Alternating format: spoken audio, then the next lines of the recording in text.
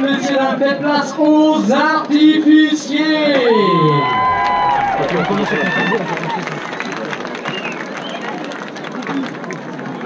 Dès qu'ils vont être sortis, on va pouvoir. Ouais. Allez, vas-y.